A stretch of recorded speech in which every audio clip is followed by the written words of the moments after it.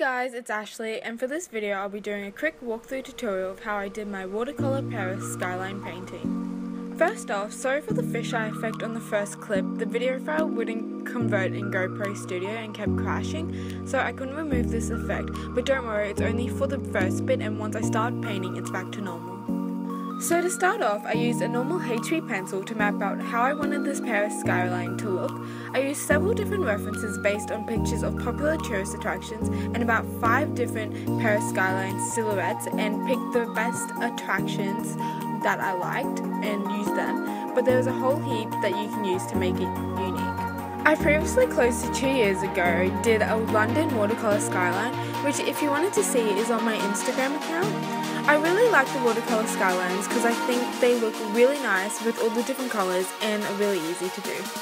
Like my watercolour world map drawing, I've used my Winsor Newton watercolour paints which I absolutely love, mainly because they're so pigmented and the colours come out so amazing. When using the watercolour paints, I tend to move the brush in a circular motion to blend the colour and if I want the colour lighter I just add more water to the brush and if I want it darker and more pigmented, I use a dry brush with heaps of colour on it. When moving between colours, I place both the colours at a somewhat leading spot and then use a mix of the two colours to blend it together and make a smoother transition.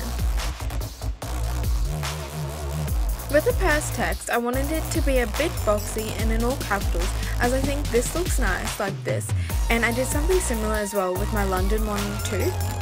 With this painting, I used the Winsor Newton brush that came with the paints and a size 7 round brush, both of which I used with the World of Colour world map as well. I primarily used the Winsor Newton brush to fill in the Paris skyline as it is smaller and easier to control, but also blends the colours nicely. And I used the size 7 round brush when doing the bottom of the skyline where it is spread out a bit more and a bit more messier. With this painting, I also gave it two hot air balloons as it fills in the space and I thought it would look good like this.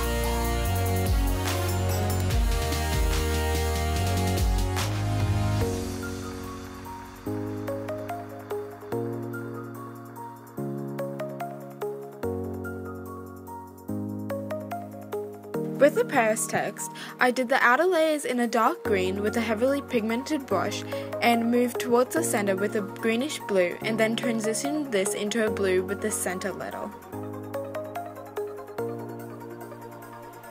With the watercolor paints, you can be a bit messy. I think it gives a nice effect where it doesn't need to be perfectly in the line.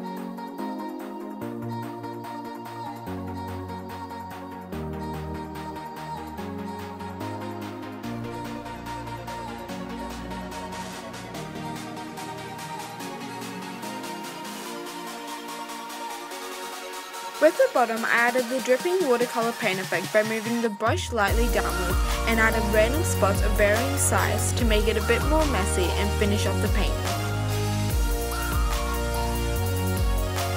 So that's the finished painting and the end of the tutorial. I hope you all enjoyed and it was helpful. Please be sure to give a thumbs up and subscribe to see more videos. Also, you can follow me on Instagram at AshleySaz0 for all my other artworks and be sure to check out my previous drawing tutorials on my channel. Thanks and I'll see you next time.